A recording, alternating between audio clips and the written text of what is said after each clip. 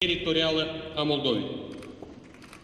Новоизбранный президент Молдовы Игорь Дадон принял присягу. Торжественная церемония прошла в Кишиневе во Дворце Республики. В своей речи президент заявил, главными задачами Молдовы во внешней политике является активизация отношений с соседями Украины и Румынией. Также Дадон пообещал выстраивать партнерские и дружественные отношения со всеми странами мира. Приоритетными направлениями его работы станет и разноплановое развитие отношений с ЕС, США и Китаем. Свой первый визит новоизбранный глава Молдовы совершит в Москву, а в ближайшие месяцы в Брюссель. Напомним, Игорь Дадон стал первым за много лет президентом, избранным в ходе всеобщего голосования.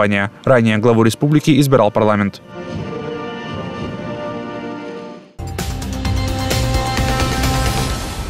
Президент США Барак Обама подписал оборонный бюджет на будущий год. Из общей суммы на помощь Украине в нем предусмотрены 330 миллионов долларов. Документ предполагает выделение нашей стране средств для обеспечения безопасности, в том числе летального оборонного вооружения. Расширяется перечень видов помощи. В него добавлены средства технической поддержки для разработки системы мониторинга границ Украины и помощь в подготовке штабных офицеров и высшего командования вооруженных сил нашей страны. С лета будущего года в Украине полноценно заработает дорожная полиция. Об этом заявил замглавы нацполиции Константин Бушуев. Главным участком ее работы станут трассы международного и национального значения. По его словам, основной обязанностью сотрудников будет обеспечение безопасности на дорогах. Кроме того, будут реагировать на другие преступления на участке патрулирования. Для запуска дорожной полиции планируется привлечь более двух с половиной тысяч сотрудников. Формирование дорожной полиции пройдет в два этапа и должно будет завершиться через год.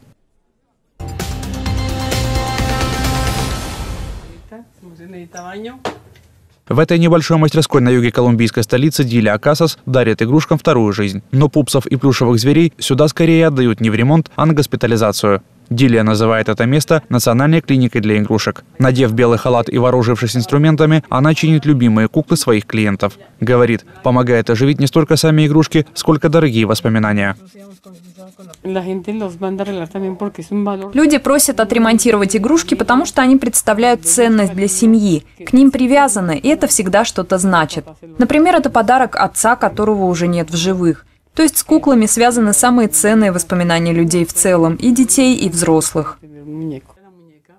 Диля Акасас – домохозяйка. Основала кукольный госпиталь 40 лет назад. Рассказывает, что муж был против, зато брат поддержал. У каждого пациента своя медицинская карта.